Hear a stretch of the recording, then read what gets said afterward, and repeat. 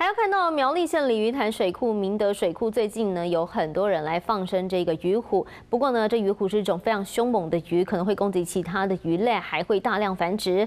河川保育人士呢想要趁在这个水库水量少的时候来除鱼虎也不容易，只能够呼吁大家呢不要再放生了，因为它的侵略性真的很高。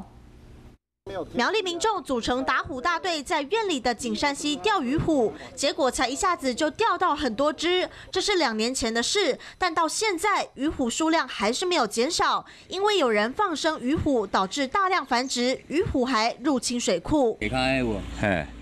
鱼虎边啊。鱼虎是外来物种，大只又凶猛，是肉食性鱼类，在水库里几乎没有天敌。鱼虎会攻击甚至吃掉其他鱼类，危害生态。它会自然繁殖，还是会恢复原来的数量？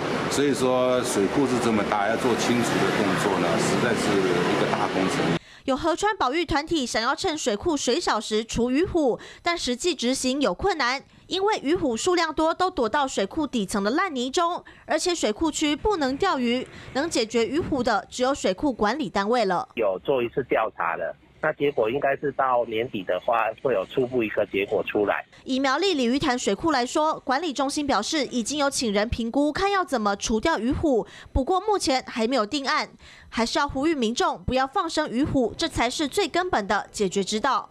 华视新闻王善、吴兆清、杨宗颖苗栗报道。